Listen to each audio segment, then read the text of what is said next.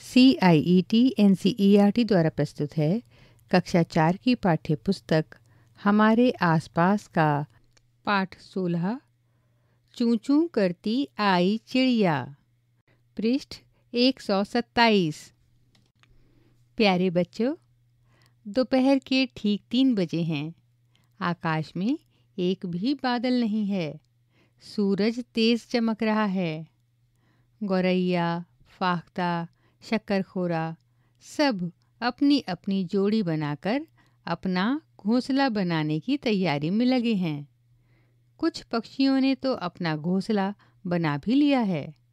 कुछ घोंसलों में अंडों से बच्चे भी निकल आए हैं। इन नन्हे बच्चों के माँ बाप उन्हें तरह तरह के कीड़े और अन्य चीज़ें खिलाने में व्यस्त हैं। हमारे आँगन में भी फाख्ता का एक बच्चा हुआ है। उसके घोंसले में अभी एक अंडा और पड़ा है। लगता है उसकी माँ ने इसे अभी तक ठीक से सेया नहीं है। पृष्ठ 128 गोपाल भाई के घर वाली सड़क के किनारे बहुत सारे पत्थर हैं। इन पत्थरों के बीच खाली जगह में कल चिड़ी यानी इंडियन रॉबिन ने अंडे दिए हैं। बच्चू भाई ने मुझे वह जगह दिखाई थी मैंने दूरबीन से घोंसले में देखा। घोंसला घास से बना है। उसके ऊपर पौधों की नाजुक टहनी, जड़ें, ऊन, बाल, रुई सब बिछा है। कल चिड़ी का घोंसला ऐसा ही होता है। आखिर उसके बच्चों को आरामदायक घर और बिस्तर चाहिए ना? कल चिड़ी कौए जैसी नहीं है। कौए के घोंसले में तो लोहे के तार और लकड़ी की शाखाएँ जैसी चीज़ें भी होती हैं। कल चिड़ी के घोंसले में मैंने एक बच्चा भी देखा। वह अपनी चोंच फाड़ कर बैठा था। उसकी चोंच अंदर से लाल थी। कुछ देर बाद कल चिड़ी कहीं से उड़कर आई और बच्चे के मुँह में कुछ रखा।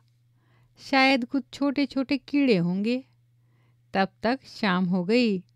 कल चिड़ी भी अब अपने बच्चों के साथ घोंसले में बैठ गई। कोयल, तुम जानते ही हो, कोयल बहुत मीठा गाती है, पर क्या तुम्हें पता है, वह अपना घोंसला नहीं बनाती। वह कौए के घोंसले में अंडे दे देती है। कौआ अपने अंडों के साथ कोयल के अंडों को भी सेता है। नज़दीक में एक छोटा सा पेड़ है। उसकी एक डाल से घोंसला लटका हुआ है। पक्षियों में भी कितना अंतर है। कौआ पेड़ की ऊँची डाल पर घोंसला बनाता है, जबकि फाख्ता कैक्टस के कांटों के बीच या मेहंदी की मेड़ में। गौरैया आमतौर पर घर में या आसपास दिखाई देती है। वह कहीं भी घोंसला बना लेती है। अलमारी के ऊपर, आईने के पीछे, घर की दीवार के आले में। कबूतर भी ऐसा ही अपना घोंसला बनाता है, पुराने मकान या खंडहरों में। बसंत गौरी जो गर्मियों में टुक टुक करते रहते हैं, पेड़ के तने में गहरा छेद बनाकर उसमें अंडे देते हैं। दर्जिन चिड़िया का तो जैसा नाम, वैसा काम। वह अपनी नुकीली चोंच से पत्तों को सी लेती है और उसके बीच में बनी थैली को अंडे देने के लिए तैयार करती है।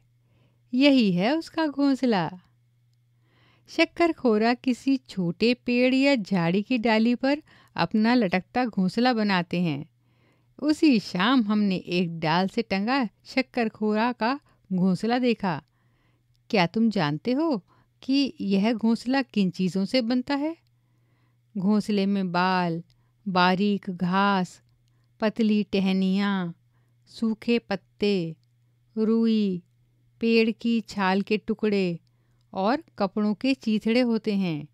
यहाँ तक कि मकड़ी के जाले भी होते हैं। मैंने दूरबीन से देखा, उस घोंसले में एक बच्चा भी था। घोंसले की एक तरफ़ छोटा सा छेद था, वहीं बच्चा बैठा था, अपनी माँ और खाने के इंतज़ार में। उसको और काम भी क्या होगा? खाना और सोना। क्या तुम वीवर पक्षी के बारे में यह बात जानते हो?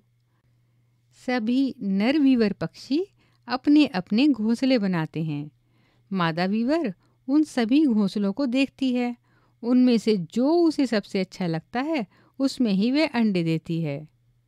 पृष्ठ 130 आजकल सब पक्षी बहुत व्यस्त हैं। घोंसले बनाना और अंडे देना, यह तो पहला कदम है। बड़ी मेहनत से बनाए गए घोंसले में बच्चों को ठीक से पालकर बड़ा करना बहुत मुश्किल काम होता है। पक्षियों के कई दुश्मन हैं। मनुष्य और दूसरे जानवर भी। कौए गिलहरी, बिल्ली और चूहे मौका देखते ही अंडे चुरा लेते हैं।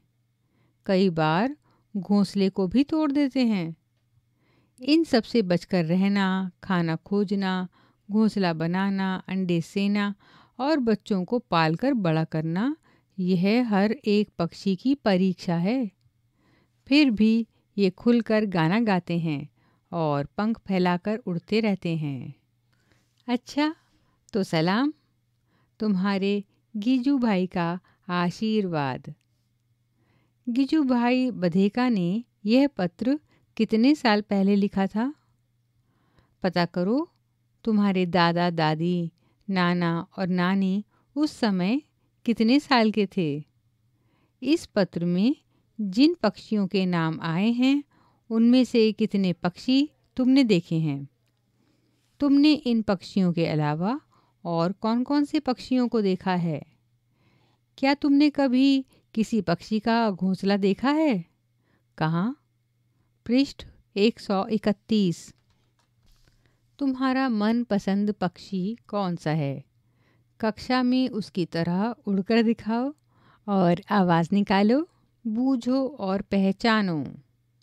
एक पक्षी ऐसा जिसकी दुम पर पैसा। सिर से दुम तक दिखे नीला ही नीला। इसका हम एक संकेत देते हैं। यह हमारा राष्ट्रीय पक्षी है। क्या बसंत गौरी की तरह कोई और पक्षी भी पेड़ के तने में घोंसला बनाता है? अपने घर में या आसपास किसी पक्षी का घोंसला ध्यान से देखो। ध्यान रहे, घोंसले के बहुत पास नहीं जाना और उसे छूना भी नहीं। गलती से भी छू लिया तो फिर पक्षी घोंसले में दोबारा नहीं आएँगे। कुछ दिन तक किसी एक घोंसले को देखो और इन बातों का पता करके लिखो। घोंसला कहाँ पर बना है?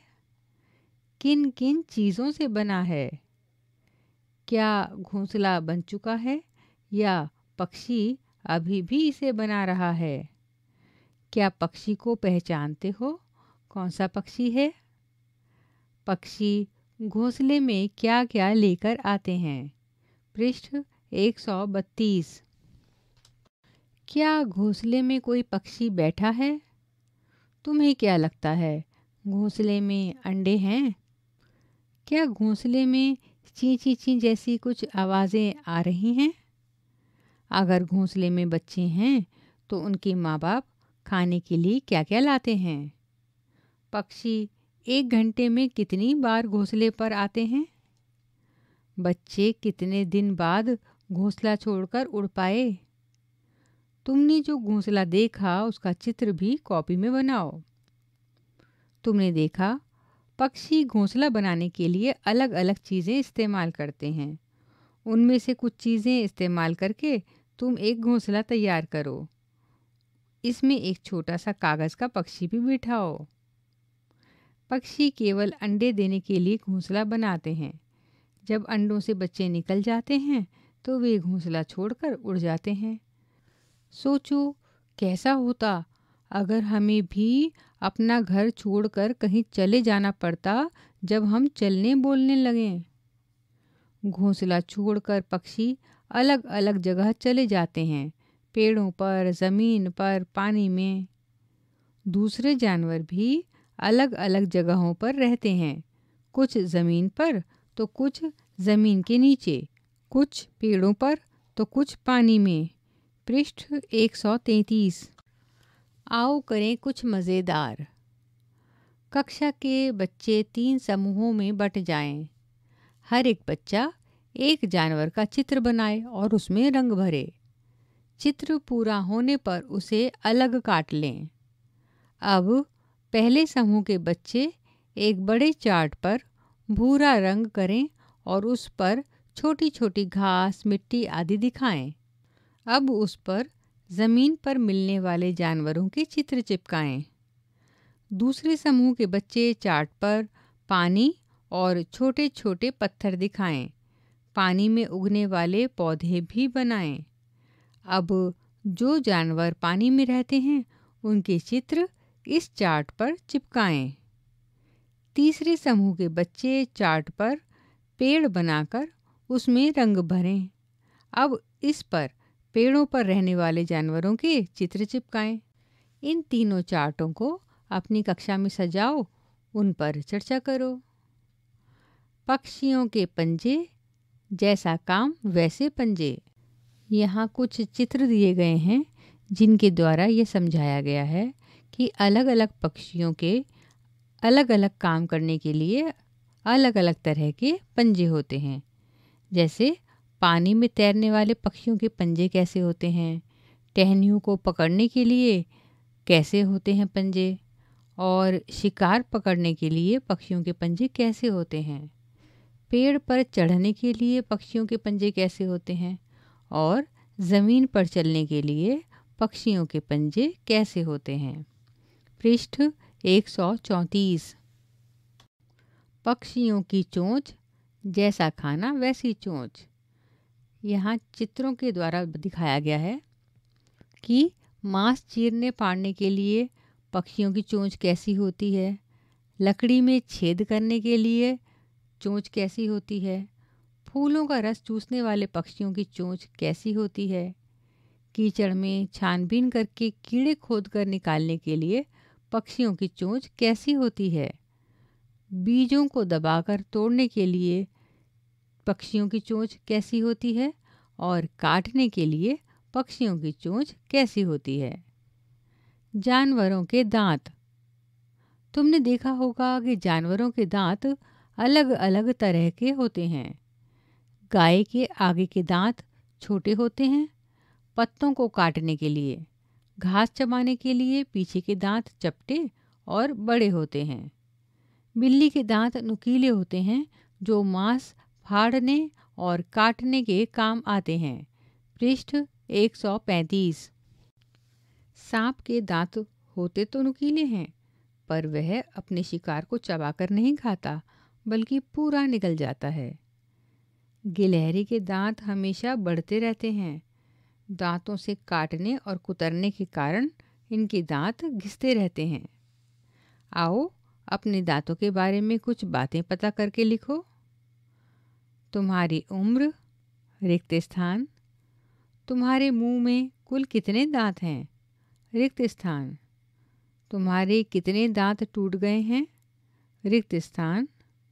कितने नए दांत आए हैं? रिक्त स्थान। कितने दूध के दांत टूटे हैं, पर उनकी जगह नए नहीं आए हैं? रिक्त स्थान। दांतों के बारे में कुछ और जानो। अपने दोस्तों के दांत देखो।